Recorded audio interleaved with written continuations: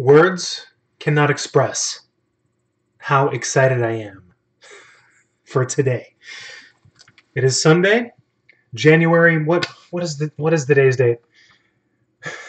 Can't even remember what day it is. All right, it is Sunday, January twenty fourth, two thousand twenty one, and it feels like we have been waiting for our first official trailer for this movie since 2017, 18, for me at least, because in 2014 when Godzilla finally came out, and I realized that it was going to get a sequel. Awesome, I was excited.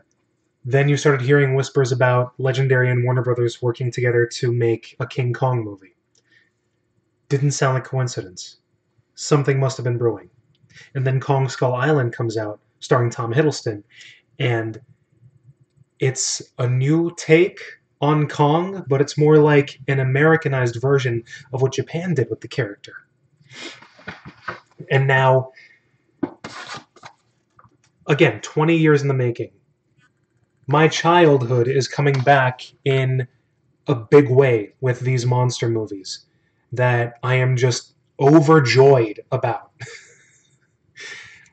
now, we're going to watch this trailer together for Godzilla vs. Kong that's going to be releasing in March.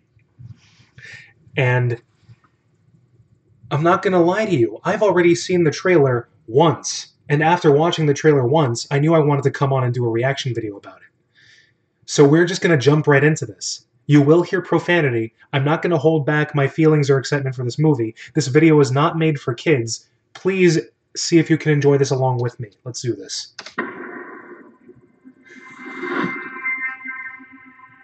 This is our only chance. That was Japan, by the way. We have to take it.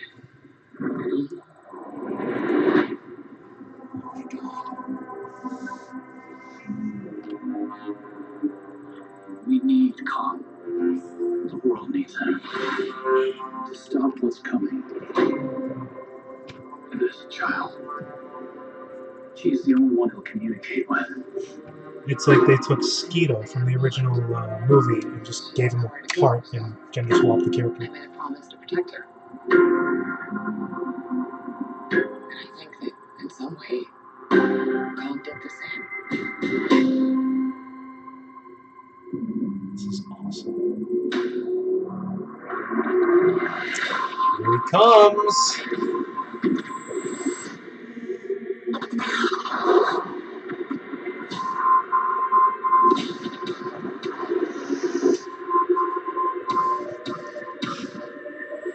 Can't stop him. You can't stop him.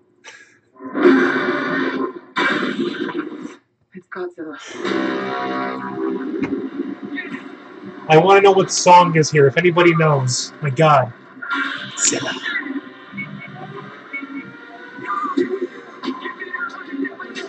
Fuck yeah!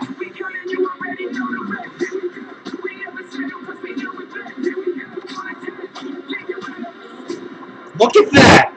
Jeez! These are dangerous times. I love the neon. People we don't know why. There's something provoking here that we're not seeing here. I'm of the same opinion. The myths are real. There was a war. And they're the last ones standing. I keep reaching for greatness because I'm built from it.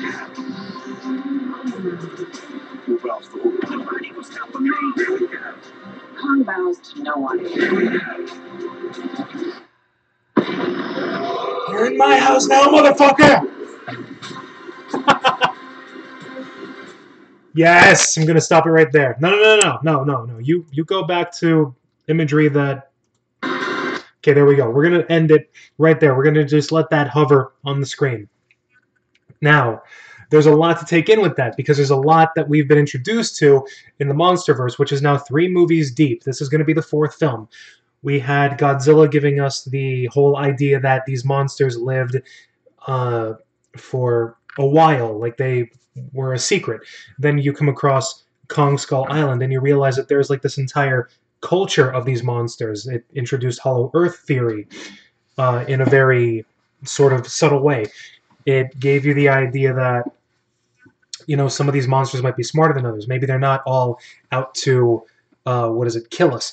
They're not all like the size of buildings, even though they are gigantic. Then we come to Godzilla, King of the Monsters, and we find out that there was an entire culture that worshipped the monsters as gods, and that every culture possibly had its own monster, etc., etc.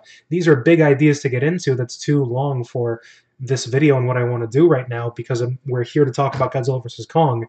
But we come across ideas like, wh- where is it? This is the fight on the ship. Uh.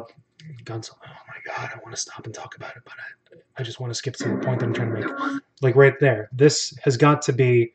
That's the Hollow Earth. You can see over Kong's head there that he's like inside some sort of a massive, massive cave. So we're going to actually travel into the Hollow Earth. We are going to see what monsters populate the Hollow Earth. There have been toy leaks of these snakes with wings that Kong is beating the shit out of right here. I guess we thought that they were going to be a bigger threat in the movie. They still very well could be, but I think that they're going to be more like this movie's versions of the Skull Crawlers from Kong Skull Island, where uh, in between action sequences, really what you want to see is the monsters doing something. It's part of the reason why making these movies is sort of difficult. Marvel movies are easy because they're humans, they speak English and all that, and they can be proactive with dialogue and uh, scenes of that nature. But in a monster movie, humans are exposition machines, monsters do all the work. Uh, you want to see them be proactive in between their larger fights, and this is sort of a nice way to do that, I think. There's just so much that I want to get into, but like these are my initial reactions, these are my initial thoughts on everything. Alexa, stop. I set a 10 minute alarm for my computer to boot up, but it already. Alexa, stop! Can't you see I'm talking about Godzilla? No. So yeah, I'm entirely hyped for this movie. I love this. Like, we thought that the utilization of color was amazing in Godzilla King of the Monsters. But then we start to see images like. There we go. One second. Like right here, where he's roaring in the middle of the city, which I think might actually be Tokyo, Japan. Hold on a minute. Where? No, no, no, no, no. Where? Where is it? Okay, let's just backtrack right here. I, I just want to find this image. There we go. Images like this, where the city is lit up. Even though it's in the dark, we know as the audience why they're trying to do that.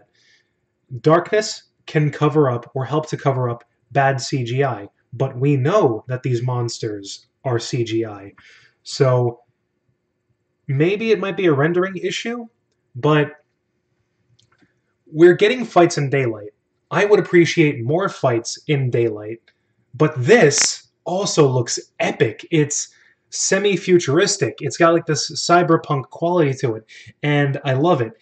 And I feel like somebody's gonna point this out to me when they watch the video, but I can see that the human characters that are popping up here, about 50% of the ones that are getting showcased in this trailer, we've already seen in King of the Monsters and what have you. I know. I don't care. I'm here for Godzilla vs. Kong. and as far as who I think is going to win, I don't care. I'm here for Godzilla vs. Kong. I just want to see the fight. Because at the end of the day, I'm here to have fun. I'm not here to debate who's going to win. It, it's fun to debate, but I've seen those conversations happening online, guys. It's just another reason for some people to start flame wars. So I just can't wait, and this is going to make my year. Later.